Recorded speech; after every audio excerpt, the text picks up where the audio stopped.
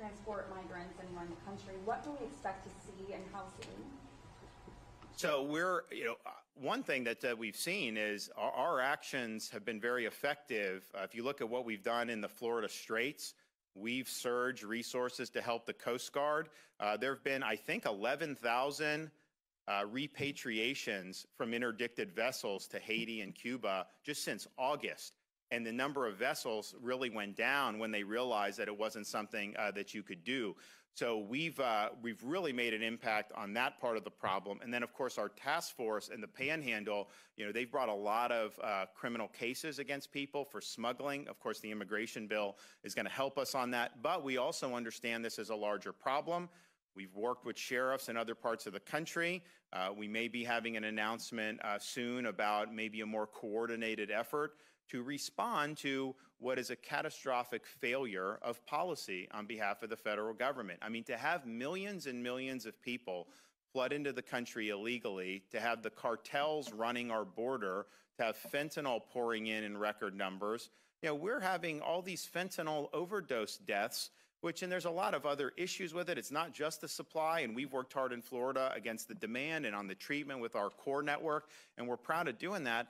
But this stuff just flooding in, it's affecting communities all across this country. So I think it's been absolutely outrageous what's happened. And I think anything we've been able to do uh, to push back on it, you know, we've done because it's an issue that's important to every single community in this country. It's not just the South Texas border towns uh, that are being overrun by this. It's a, it's a larger thing for their Newsmax legislation you guys passed that prohibits Chinese nationals from owning land in Florida and gaining access to critical infrastructure here in the state? So basically, we've seen a movement amongst uh, the CCP and its affiliated entities to purchase farmland in the United States. And we think that that's wrong. We don't think, I mean, I view our, our food production as a national security issue. It's obviously very important for our economy here in Florida and in many other parts of, of the United States, uh, but it is a security issue. We also understand there may be interest in them getting uh, stuff in military, near military bases. You know, the CCP actually has, in different parts of this country, their own police stations where they surveil basically Chinese nationals who are here going to school or whatnot. And this has been allowed to happen on, on U.S. soil. It's absolutely outrageous. So, what we've said is no CCP, uh, for farmland or near critical infrastructure like military bases or whatnot. So I think ours has been the most ambitious uh, of anywhere in the country, and I think it's likely to be something that is a model uh, for other states to follow going soon. Social and cultural issues that you've identified here.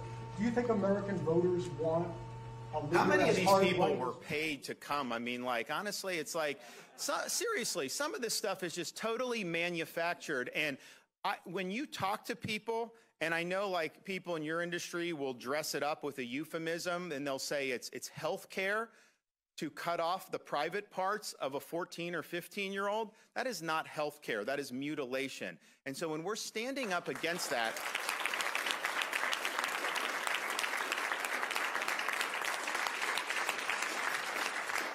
And so when we're standing up against that, we're protecting these kids.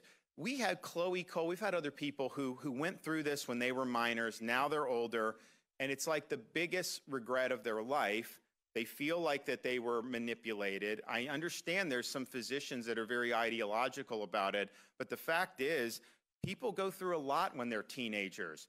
You grow out of it most of the time in these situations. 80, 90% resolves by the time you get there. Sweden, these European countries that went down this road have done a big U turn. They said this is not good uh, uh, medical practice, and so they don't do it anymore. So all we're doing is, is doing what's right. Um, the idea that this would have been something that people would have been, it would have even been controversial, even like 10 years ago, would not have been something that anybody would have said anything about. And I just think, you know, when you're when you're talking about this stuff, uh, talk about what did the legislature do? The legislature prohibited doing things like double mastectomies. They prohibited doing things, you know, with uh, with male private parts that are very graphic. They prohibited pumping these minors with puberty blockers, which is just not something that, that, that, that, it's appropriate. So I think those are appropriate guardrails. Look, there's some parents that this is something that, that they want to go down that road. But I think a lot of parents, you know, they just want what's best for their kid. Their kid may be going through something.